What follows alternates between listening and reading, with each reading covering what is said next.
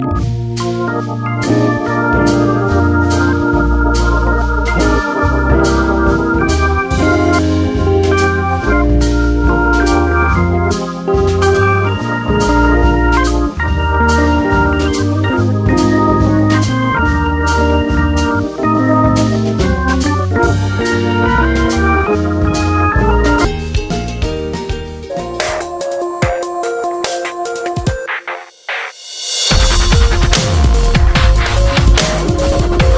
அஸ்லாம் வலைக்கும் welcome back to our channel எல்லோரும் நல்லா இருக்கணும்னு கண்டிப்பாக துவா செய்கிறேன் இன்றைக்கி வந்து ஒரு ஸ்பெஷலான சண்டே விலாக் தான் பார்க்க போகிறோம் ஸோ என்னடா இன்றைக்கி அப்படின்னு கேட்டிங்கன்னா ஒரு விசேஷமும் இல்லை. ரொம்ப நாளாக பசங்க வந்து வெளியே சாப்பிட கூட்டு போங்கன்னு சொல்லி தொல்லை பண்ணிகிட்டே இருந்தாங்க. ஸோ வெளியே சாப்பிட போகிறது அவ்வளோ ஹைஜீனிக்கும் கிடையாது. அதே சமயம் வந்து ஓவர் காஸ்ட் ஆகும். ஸோ எல்லாத்தையும் கால்குலேட் பண்ணி உங்களுக்கு என்ன ரெஸ்டாரண்ட் ஸ்டைலில் நான் செஞ்சு தரேன் அப்படின்னு சொல்லி இன்றைக்கி வந்து சிக்கன் மட்டன் அப்புறம் சிக்கன் விங்ஸு மட்டனு நல்லி முள் அதுக்கப்புறம் வந்து லெக் பீஸ் இது எல்லாத்தையும் வாங்கியிருந்தேன். ஸோ இதை வந்து செய்கிறத விட எப்பவும் செய்கிறத விட கொஞ்சம் டிஃப்ரெண்ட்டாக செஞ்சு கொடுத்து அவங்களுக்கு வந்து ஒரு ரெஸ்டாரண்ட் ஸ்டைலில் ஃபீல் பண்ண வைக்கலாம் அப்படின்னு சொல்லிட்டு தான் செஞ்சிட்ருக்கேன் ஸோ ஃபஸ்ட்டு ஸோ லெக் பீஸை வந்து சாதாரணமாக சிக்ஸ்டி ஃபைவ் மாதிரி பொறிக்காமல் ட்ரம் ஸ்டிக் மாதிரி பண்ண போகிறேன் இது வந்து ஒரு ரெஸ்டாரண்ட் ஸ்டைலில் இருக்கும். ஸோ ட்ரம் ஸ்டிக் மாதிரி பண்ணிடலாம் அப்படின்னு சொல்லிட்டு ஃபஸ்ட்டு அதை வந்து நல்லா கழுவிட்டு அதை வந்து ஒரு குக்கரில் போட்டு உப்பும் உப்பு கொஞ்சமாக தண்ணி ஊற்றி நல்லா வேக வச்சு எடுத்துக்க போகிறோம் ஸோ ரொம்ப நேரம் வேக தேவையில்ல. ஒரு ரெண்டு விசில் வந்து விட்டால் போதும். லெக் பீஸ் வந்து எப்போவுமே கிலோ கணக்கில் தர மாட்டாங்க. பீஸ் கணக்கில் தான் தருவாங்க. ஸோ ஆறு பீஸ் நான் எடுத்திருக்கேன். அதை அடுப்பில் வச்சு வேக வச்சுட்டு அதுக்குள்ளே வந்து நல்லிமூலுக்கான தேவையானதெல்லாம் ரெடி பண்ணிக்கலான்ட்டு நல்லிமூல் வந்து ஃபஸ்ட்டு சூப்பு செஞ்சு எடுத்துக்க போகிறேன் சூப்பு செஞ்சு எடுத்துட்டு அதுக்கப்புறம் அதில் கிரேவி செய்ய போகிறேன் அதனால் வந்து ஃபஸ்ட்டு நல்லிமூலை கழுவி எடுத்து வச்சுட்டு அதில் வந்து ஒரு ரெண்டு வெங்காயம் ஒரு தக்காளி வந்து நறுக்கி போட்டுக்கிறேன்.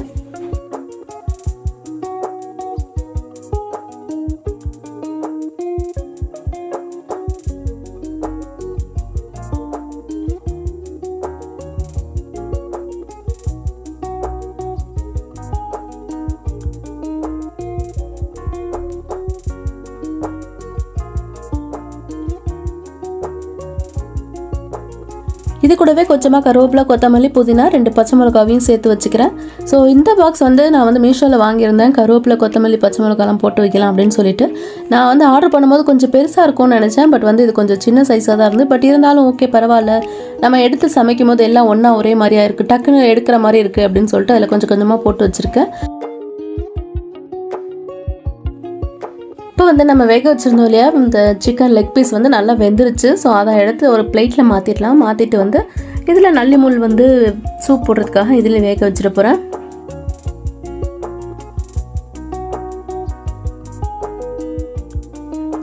வெட்டி வச்சுருந்தேன் இல்லையா நல்லி முள் வெங்காயம் தக்காளி புதினா எல்லாத்தையும் ஒன்றா சேர்த்து அதையும் இதில் குக்கரில் போட்டுட்டு தேவையான அளவு தண்ணி சேர்த்துட்டு கூடவே வந்து உப்பு மஞ்சத்தூள் கொஞ்சமாக இஞ்சி பூண்டு பேஸ்ட் போட்டு மூடி போட்டு இதையும் வந்து நல்லா விசில் விட்டு வேக வேக வச்சு எடுத்துக்கலாம். இது வந்து கொஞ்சம் வேக லேட் ஆகும். ஸோ ஒரு ரெண்டு மூணு விசில் ஃபுல் ஸ்டீமில் வச்சுட்டு குறைஞ்சது ஒரு சிம்மில் வச்சு ஒரு இருபது நிமிஷமாவது விட்டால் தான் அந்த நல்லி மூணு நல்லா வெந்து வரும். ஸோ குக்கரை க்ளோஸ் பண்ணிவிட்டு அடுப்பில் வச்சுட்டேன். இப்போ வந்து மூணாவது ரெசிபி சிக்கன் விங்ஸ் எடுத்திருந்தேன். ஸோ சிக்கன் விங்ஸை வச்சு வந்து ஹனி சிக்கன் செய்ய போகிறேன் அதுக்கு ஃபஸ்ட்டு வந்து ஒரு பவுலில் ரெண்டு டீஸ்பூன் அளவுக்கு மைதா மாவு ரெண்டு டீஸ்பூன் அளவுக்கு கார்ன்ஃப்ளவர் கொஞ்சமாக மிளகுத்தூள் மிளகு வெறும் மிளகுத்தூள் அதுக்கப்புறம் தேவையான அளவு உப்பு சேர்த்துட்டு இதை எல்லாத்தையும் சேர்த்துட்டு இதை வந்து அந்த விங்ஸோட நல்லா வந்து பெரட்டி எடுத்து வச்சுக்கலாம். ஸோ இது விங்ஸில் தான் செய்யணுமான்னு கேட்டால் அப்படிலாம் கிடையாது. நம்ம எந்த பீஸ் வச்சு வேணாலும் செய்யலாம். ரொம்பவே டேஸ்டியாக இருக்கும். சிக்கன் பீஸ் வந்து செய்கிறீங்கன்னா அப்படி நினைக்கி போன்லெஸ் வாங்கி செய்யுங்க சின்ன சின்ன பீஸாக கட் பண்ணி இதே மாதிரி நீங்கள் செஞ்சீங்கன்னா அது இன்னுமே டேஸ்ட்டு சூப்பராக இருக்கும். அந்த வீடியோ வந்து நம்ம சேனலில் இருக்குது நான் லிங்க்கை மேலேயும் கொடுக்குறேன் கீழே டிஸ்கிரிப்ஷன்லையும் கொடுக்குறேன். கண்டிப்பாக செக் பண்ணி பாருங்கள் இந்த அளவுக்கு கொஞ்சம் நல்லா பெரட்டி எடுத்துக்கிட்டு அதுக்கப்புறம் வந்து அதில் ஒரு ஒரு டேபிள் ஸ்பூன் அளவுக்கு வந்து சோயா சாஸ் சேர்த்துக்கிறேன். ஸோ சோயா சாஸ் இல்லை அப்படின்னு நினைக்கி கொஞ்சமாக தண்ணி கூட சேர்த்துக்கலாம் இல்லை லெமன் ஜூஸ் கூட சேர்த்துக்கோங்க. இல்லைன்னா வினிகர் இது மூணில் ஏதாவது ஒன்று சேர்த்துட்டு லைட்டாக அந்த மாதிரி பிணைஞ்சு எடுத்து வச்சுக்கலாம். இது கிட்டத்தட்ட வந்து ஒரு half an hour to one hour ஊற வச்சோம்னா நல்லாயிருக்கும். ஸோ அதனால தான் நான் வந்து இதை பிரட்டி வச்சுட்டேன். அது அப்படியே ஊறட்டும் அப்படின்றனால அது ஓரமாக வச்சுட்டேன். இப்போ வந்து நல்லிமுள் கிரேவி செய்ய போகிறோம் ஸோ நல்லிமுள் சூப் வச்சு எடுத்துகிட்டு கிரேவி செய்கிறதுக்காக நல்லிமுள் வெந்துக்கிட்டே இருக்குது அதுக்கு வந்து நான் வந்து வெங்காயம் தக்காளி அரைச்சி எடுத்துடலாம் அப்படின்னு சொல்லிட்டு ஒரு சின்ன வெங்காயமாக மூணு வெங்காயம் போட்டிருக்கேன். ரெண்டு தக்காளி சேர்த்துருக்கேன். ஸோ இது ரெண்டையும் நல்லா வந்து மிக்சியில் போட்டு நைஸாக அரைச்சி எடுத்துக்க போகிறேன்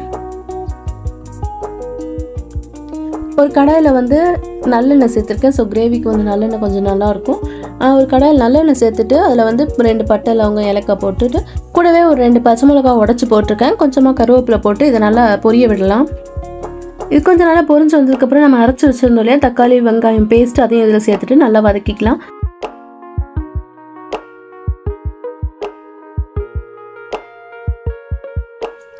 நல்ல பச்சை வாசனை போகிற அளவுக்கு நல்லா வதக்கி எடுத்துக்கணும். அது பச்சை வாசனை போயிட்டு அதில் வந்து எண்ணெய் நல்லா ம பிரிஞ்சு வரும். ஸோ அந்த அளவுக்கு பார்த்திங்கன்னா இந்த அளவுக்கு நம்ம நல்லா வதக்கி எடுத்துக்கலாம். இப்போ வந்து கொஞ்சமாக ஒரு டேபிள் ஸ்பூன் அளவுக்கு இஞ்சி பூண்டு பேஸ்ட் சேர்த்துட்டு அதையும் வந்து நல்லா வதக்கி எடுத்துக்கலாம். இஞ்சி பூண்டு பேஸ்ட் சேர்த்ததுக்கப்புறம் வந்து கொஞ்சம் நல்லா மூடி போட்டு வதக்கினோம்னா அந்த டேஸ்ட் அந்த ஃப்ளேவர் வந்து நல்லா உள்ளே இருக்கும். இது ஒரு பக்கம் வதங்கிக்கிட்டே இருக்க டைமில் வந்து ஒரு கடாயில் எண்ணெய் ஊற்றிட்டு சிக்கன் விங்ஸ்லாம் வந்து பொறிச்சு எடுத்துடலாம்.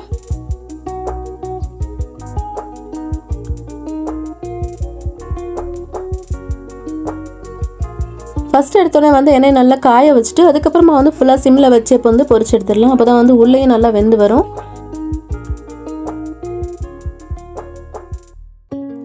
ரெண்டு சைடுமே வந்து நல்லா கோல்டன் ப்ரௌன் வர்ற அளவுக்கு நல்லா பொரிய வெட்டிட்டு ஒரு பிளேட்டில் எடுத்து வச்சுறேன். ஸோ மறுபடியும் கொஞ்சம் இருக்குது ஒரு ரெண்டு மூணு பீஸ் இருந்துச்சு. ஸோ அதையும் வந்து நல்லா பொரிச்சு போட்டு பொரிச்சு எடுத்துக்கலாம். நல்லி முள் வேக வச்சுருந்தோம் இல்லையா? கிட்டத்தட்ட ஒரு ஆஃப் அன் ஹவராக வெந்து நல்லா வெந்து வந்துடுச்சு. ஸோ இந்த அளவுக்கு வந்து சிம்மில் வந்து வேக வச்சா தான் அந்த முள் நல்லா வெந்து வரும். ஸோ கடித்து சாப்பிட்றதுக்கு கொஞ்சம் ஈஸியாக இருக்கும். இப்போ வந்து அந்த முள்ளெல்லாம் தனியாக எடுத்துட்டு கிரே அந்த மீதி இருக்கிற சூப்பையும் தனியாக எடுத்து பிரித்து வச்சிடலாம். அந்த முள்ளை வச்சு தான் நம்ம கிரேவி ரெடி பண்ணிகிட்ருக்கோம்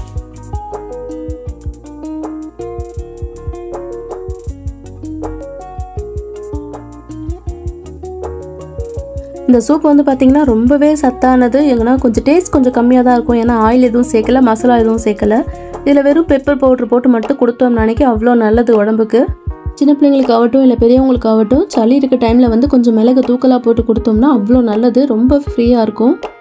ஸோ ஃபஸ்ட்டு டிஷ்ஷு வந்து நல்லிமூல் சூப் வந்து ரெடி ஆகிடுச்சு இப்போ வந்து ஒரு குக்கரில் வந்து ஒரு மூணு உருளைக்கிழங்கு வந்து வேக வச்சு எடுத்துக்க போகிறேன் இது வந்து சிக்கன் ட்ரம் ஸ்டிக் செய்கிறதுக்காக இந்த பக்கம் கடாயில் நம்ம நல்லிமுள் கிரேவி செய்கிறதுக்காக வதக்கிட்டு வந்தோம் இல்லையா? ஸோ நல்லா வதங்கிடுச்சு இப்போ வந்து இதில் வந்து ஒரு அரை டீஸ்பூன் அளவு மஞ்சத்தூள் ஒரு டீஸ்பூன் அளவுக்கு மிளகாத்தூள் ஒரு அரை டீஸ்பூன் அளவுக்கு கரம் மசாலா தூள் இதையும் சேர்த்து நல்லா வதக்கி எடுத்துக்கலாம்.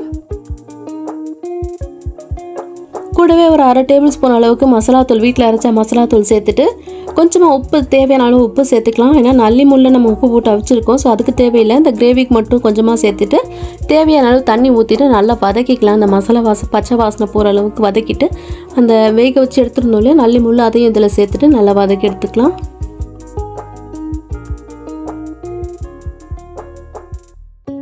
நான் எடுத்திருக்கிற நல்லிமல் குவான்டிட்டி பார்த்தீங்கன்னா ஒரு ஆஃப் கேஜ் அளவுக்கு எடுத்திருந்தேன். ஸோ ஒரு பெரிய பெரிய பீஸ் நல்லிமுள் பீஸ் வந்து ஒரு அஞ்சாறு பீஸு கிட்ட இருந்துச்சு. ஸோ அதை ஒரு பக்கம் கொதிச்சிக்கிட்டே இருக்கட்டும். அந்த டைமில் வந்து ஒரு மிக்ஸி கப்பில் கொஞ்சமாக ஒரு ரெண்டு பீஸ் அளவுக்கு தேங்காய் ஒரு அஞ்சாறு பீஸ் அளவுக்கு முந்திரி அதுக்கப்புறம் கொஞ்சம் மிளகு இது எல்லாத்தையும் சேர்த்து நல்லா நைஸாக கொஞ்சமாக தண்ணி விட்டு நல்லா நைஸாக அரைச்சி எடுத்துக்கலாம். குறை குறைப்பாக இல்லாமல் நல்லா நைஸாக அரைச்சி எடுத்துக்கிட்டு இந்த நல்லிமுள் கிரேவியோட இதையும் சேர்த்துட்டு நல்லா கொதிக்க வச்சு வச்சிடலாம்.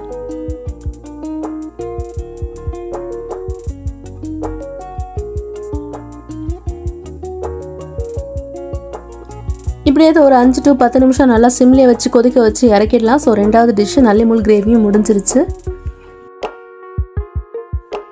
இப்போ வந்து அந்த சிக்கன் லெக் பீஸ் வந்து வேக வச்சு வச்சுருந்தேன் இல்லையா? அதை வந்து நல்லா ஆறிடுச்சு. ஸோ இது இப்போ வந்து அந்த சிக்கன் முள்ளுலேருந்து இந்த லெக் பீஸ் அந்த கறி பீஸ் எல்லாத்தையும் நம்ம வந்து பிச்சு எடுத்துடணும். ஸோ இந்த மாதிரி அது நல்லா வெந்திருக்கும். அதனால் நம்ம இப்படி எடுத்தாலே வந்துடும் கையில் இப்படி நசுக்கி எடுத்தாலே மொத்த பீஸும் அப்படியே வந்துடும் ஸோ அந்த மாதிரி எல்லா பீஸையும் வந்து அந்த முள் தனியாக அந்த சிக்கன் பீஸ் எல்லாம் கறி பீஸ் எல்லாத்தையும் தனியாக எடுத்து வச்சுக்கலாம்.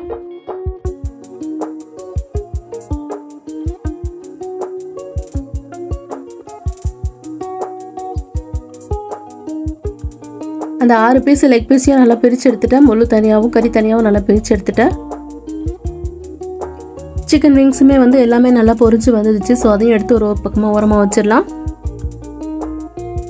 உருளைக்கிழங்கு வேக வச்சது வந்து மறந்துட்டேன். நான் விசில் எத்தனை விசில் விட்டுதுன்னு நான் பார்க்கவே இல்லை கவனிக்கவே இல்லை. இந்த ரெண்டு இது பண்ணிட்டு இருந்ததுலையே. சரி அதுக்கப்புறம் வந்து கத்தி வச்சு வெந்துருச்சான்னு பார்த்தேன். சரி நல்லா வெந்துருச்சு. ஸோ அதையும் நல்லா உரிச்சு எடுத்து வச்சுக்கிறேன்.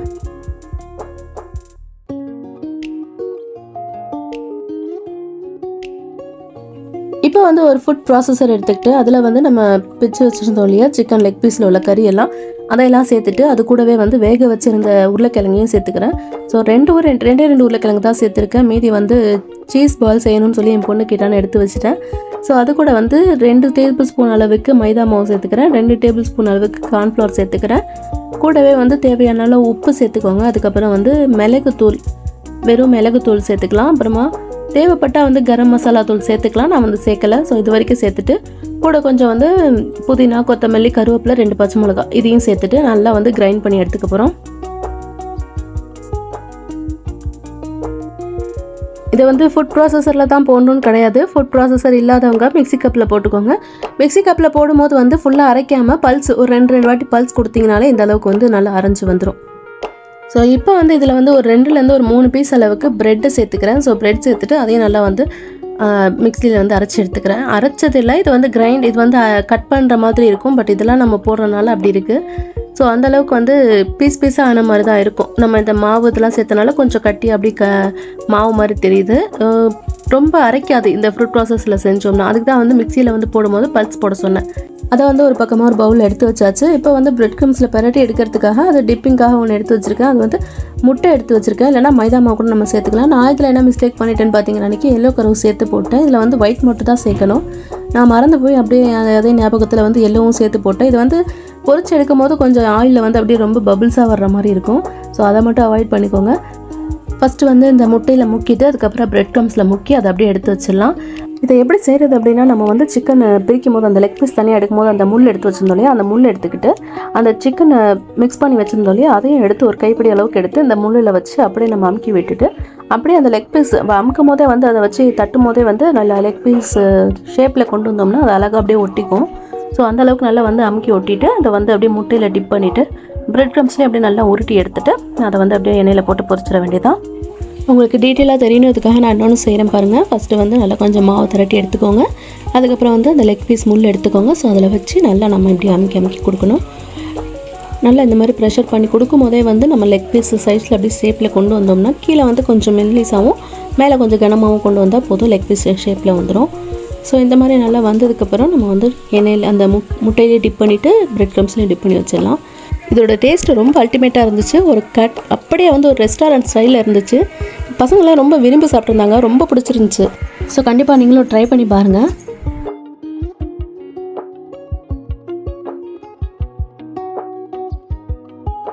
ஸோ இதெல்லாம் ரெடி பண்ணிவிட்டு நான் அடுப்பில் வந்து எண்ணெய் வந்து காய வச்சுட்டேன்.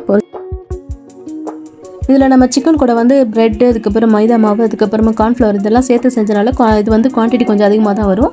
ஸோ ஆறு லெக் பீஸ்க்கு போக மீதி எனக்கு கொஞ்சம் இவ்வளோ மிஞ்சி இருந்தது. அதை நான் என்ன பண்ணேன்னா இந்த மாதிரி சின்ன சின்னதாக பீஸ் பீஸாக வந்து உங்களுக்கு எந்த ஷேப் பிடிக்குதோ அந்த ஷேப்பில் வந்து இந்த மாதிரி தட்டி எடுத்து வச்சுக்கலாம். அதே மாதிரி ப்ரெட் க்ரம்ஸில் முக்கி எடுத்து ஸ்டோர் பண்ணி வச்சிட்டோம்னா ஒரு நாளைக்கு ஈவினிங் ஸ்நாக்ஸ்க்கு வந்து இதை எடுத்து பொறிச்சு கொடுத்துட்டோம்னா பசங்க கொண்டாங்க கொண்டாங்கன்னு சொல்லி சாப்பிடுவாங்க.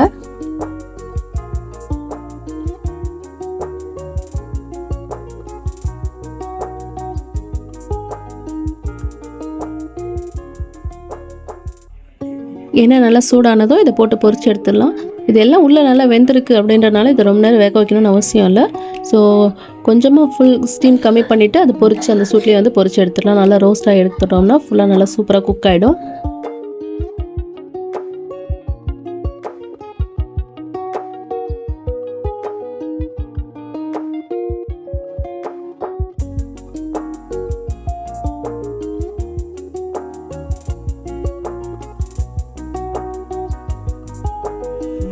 அது நல்லா ரோஸ்ட் ஆனதுக்கப்புறம் நான் அதை எடுத்துகிட்டு மீதி இருக்கிற மூணையும் பொறிச்சு எடுத்துட்டேன். ஸோ அவ்வளோதான் இந்த வேலையும் முடிஞ்சிருச்சு. ஸோ மூணாவது டிஷ்ஷான ட்ரம் ஸ்டிக்கும் முடிஞ்சிருச்சு. இதுக்கப்புறம் இன்னும் மிச்சம் இருக்கிறது அந்த விங்ஸ் மட்டும் தான் ஸோ அதை வந்து ஹனி சிக்கன் நம்ம பண்ணிட்டோம்னா ஃபுல் நாலாவது டிஷ்ஷும் முடிஞ்சிருச்சு.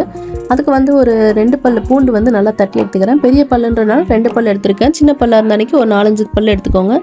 ஸோ நல்லா தட்டி எடுத்துக்கிட்டு ஒரு கடாய் அடுப்பில் வச்சுட்டு கொஞ்சமாக எண்ணெய் ஊற்றினா போதும். ரொம்ப தேவையில்ல. ஒரு ரெண்டு டீஸ்பூன் அளவுக்கு எண்ணெய் ஊற்றிட்டு இந்த பூண்டு வதங்குற அளவுக்கு இருந்தால் போதும். ஸோ பூண்டை போட்டு நல்லா வதக்கி எடுத்துக்கணும்.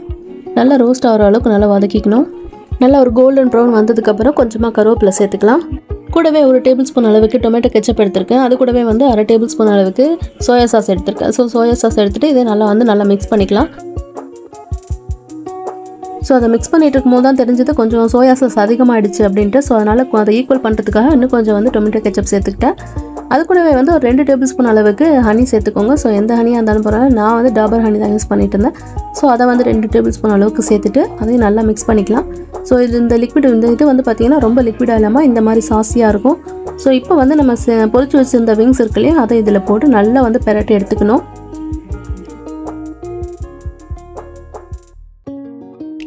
நம்ம அந்த பூண்டு சேர்த்து செஞ்சதுலேருந்து வந்து ஸ்டவ் வந்து ஃபுல்லாக சிம்மில் தான் இருக்கணும். ரொம்ப ஹை ஃப்ளேமில் வச்சோம்னா ரொம்ப கரிஞ்சிரும். அந்த ஃப்ளேவர் வந்து மாறிடும். அதனால் ஃபுல்லாக சிம்லேயே தான் வச்சு செய்யணும்.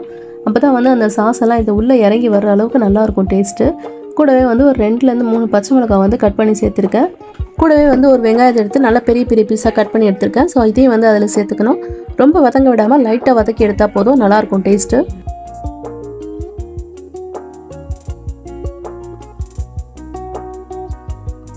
அவ்வளோதான் ஹனி விங்ஸும் சூப்பராக ரெடி ஆகிடுச்சு